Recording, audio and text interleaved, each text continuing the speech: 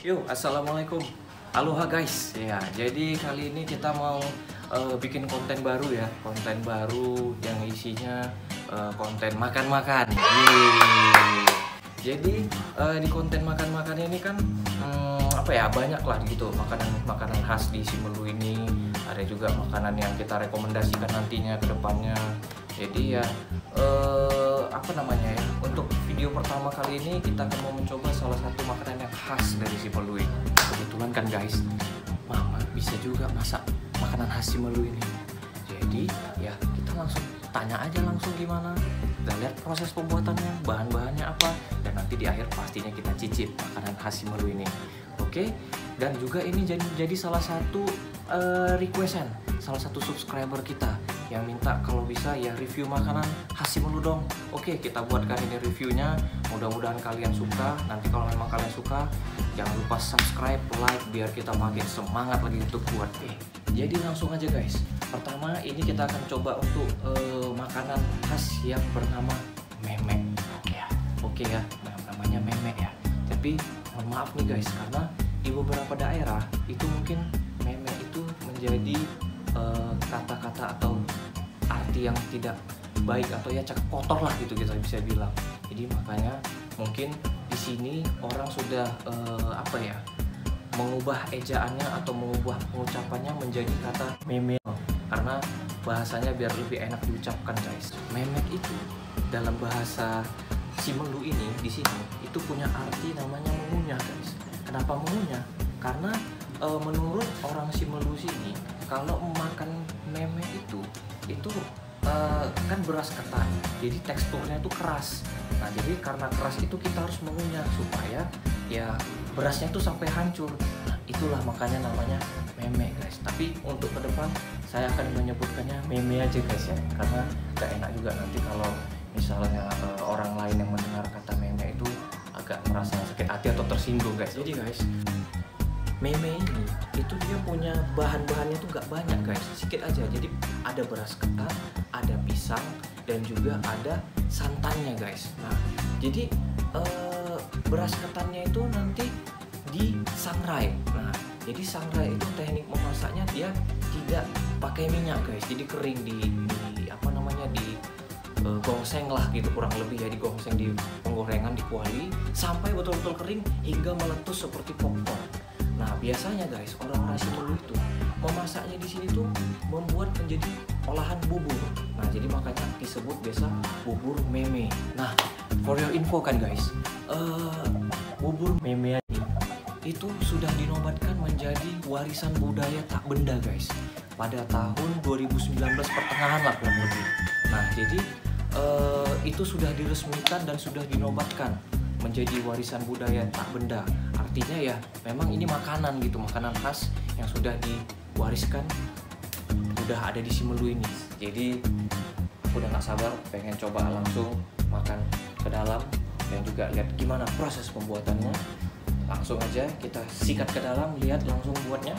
Dan jangan lupa support kita dengan cara subscribe like share dan support kita terus biar kita bisa buat lebih banyak lagi konten makan-makan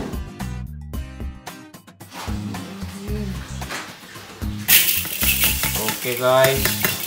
Ini berasnya ya. Berasnya mau kita sangrai namanya ini. Sangrai sampai melepuh. Kayak popcorn nanti dia mungkin melepuh melepuh. Kembang. Nah, masih diaduk terus sangrai sampai melepuh. Persis kayak popcorn nanti dia. Meletus meletus nah ini udah mulai kering jadi guys. Nah udah mulai kering.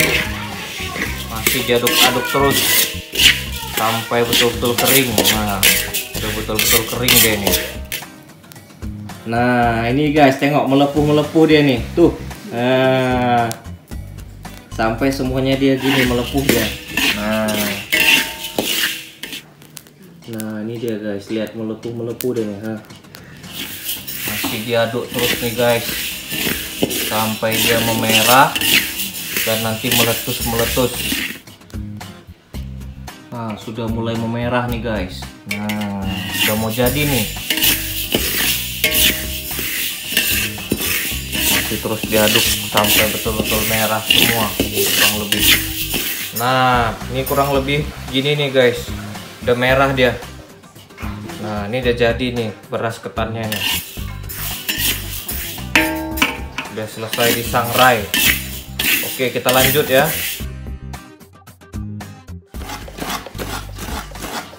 Nah, ini dikukur nih guys. Cuman kukur yang kita pakai di sini kukur yang tradisional, yang manual. Karena kan ini santannya nggak kita masak lagi nanti. Jadi kalau misalnya kita pakai ukuran yang di pasar-pasar itu, kita kan nggak tahu kebersihannya gimana. Makanya biar lebih terjamin kita pakai kukur sendiri, kita manual supaya santan yang kita buat ini pun ya lebih terjamin kebersihannya. Nah ini dia guys. Ukur manual ya.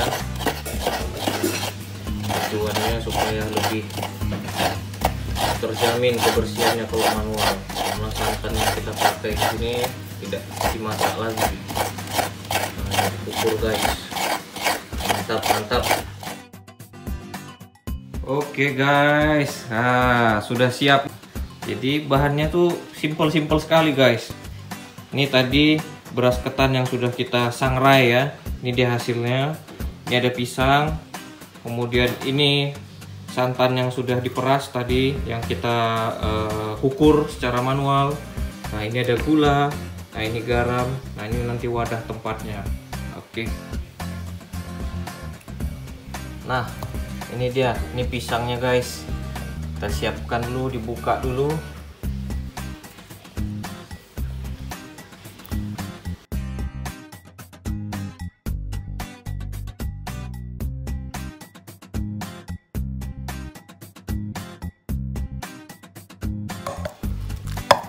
Nah ini dia guys yang bikin unik lagi nih. Lihat pisangnya dihancurkan pakai ini lagi nih. Nah, Pakai gelas dihancurkan.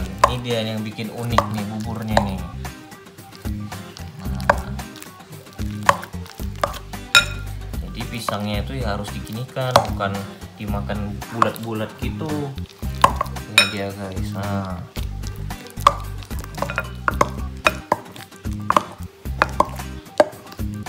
Oke pisangnya sudah hancur. Sudah mulai rata pisangnya sudah siap dicampur nih guys dengan beras sangrainya. Dan santan. dan santan nih berasnya ketannya nih. Nah ini dia. Siap kita campur guys. Ya guys dicampur nih. Hmm. mantap mantap mantap. Hmm. beras ketannya sudah dicampur nih ha. nah kita taruh gula sekarang. Wah mantap. Hmm. garam secukupnya. Ini garam secukupnya.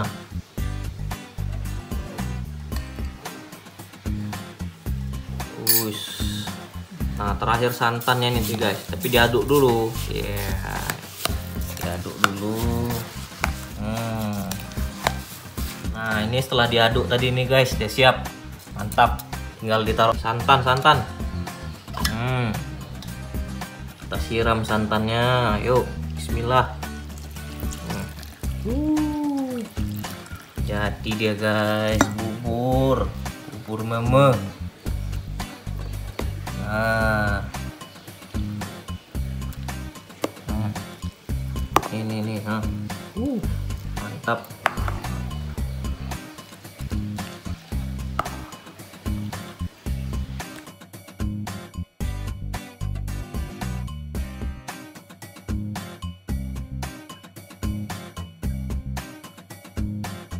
Oke guys, nah di hadapan kita sudah ada nih bubur memenya.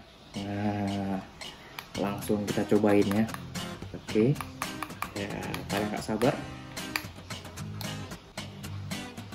Sebelum makan kita baca doa dulu. Bismillahirrahmanirrahim. Yuk, suapan pertama. Oh guys, suapan pertama.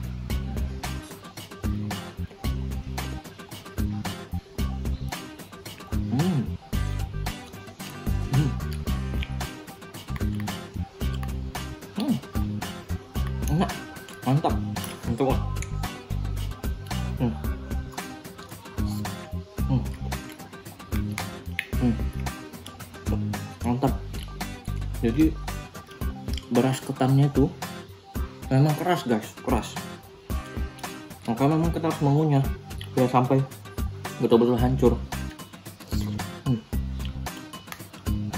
Hmm. mantap rasa pisangnya dominan rasa hmm.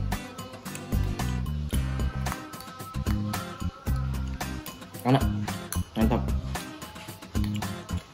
hmm. mantap mantap ya hmm. Hmm.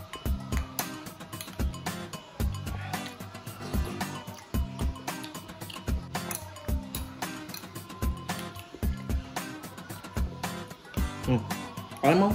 Hmm. Hmm. Hmm. Hmm. Hmm. Hmm.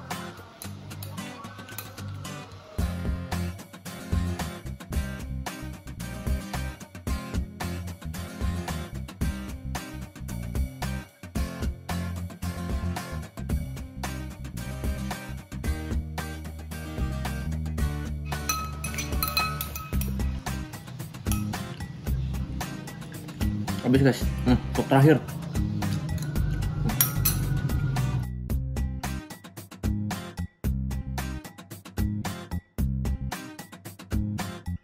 Oke, sekian dulu video makan-makan kita. Ini makanan khas Simelu, makanan meme ya. Hmm, rasanya enak, enak. Jadi, um, jika kalian suka dengan video ini, jangan lupa like, comment, subscribe supaya kita ke depan bisa buat video makan-makan yang lebih banyak lagi. Kita akan review makanan yang lebih khas lagi di sini. Oke guys, sekian video udah hari ini. Assalamualaikum warahmatullahi wabarakatuh. Bye.